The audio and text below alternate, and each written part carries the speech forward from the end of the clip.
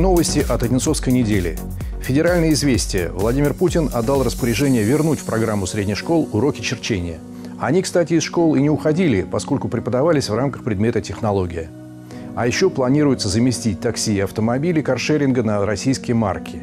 По дорогам Подмосковья колесят более 90 тысяч такси. Главная региональная новость и тема номера – конечно, обращение губернатора Подмосковья Андрея Воробьева к жителям области.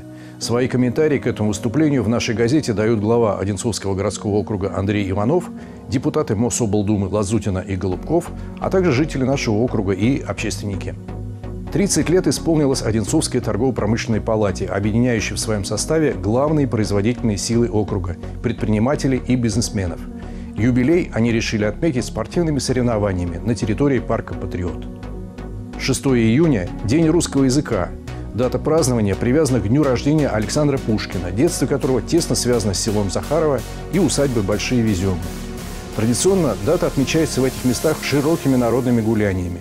Наши корреспонденты на них побывали и дают на странице газеты полный отчет. В памяти нашего земляка, поэта Владимира Наджарова, жившего в Новоивановском, посвящен выпуск сборника стихов «Последняя свеча», о котором рассказывает наш народный корреспондент, член Союза писателей России Татьяна Шведюк.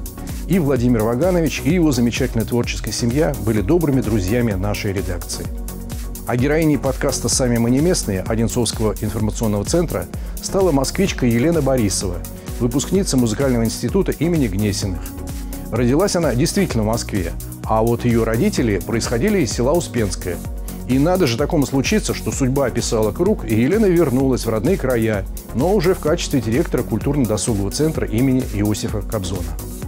Происшествия недели связаны с детьми, и, к счастью, закончились они благодаря умелым действиям одинцовских спасателей вполне благополучно. В горках десятых мальчуган засунул палец в элемент детской игровой площадки, да и застрял в нем.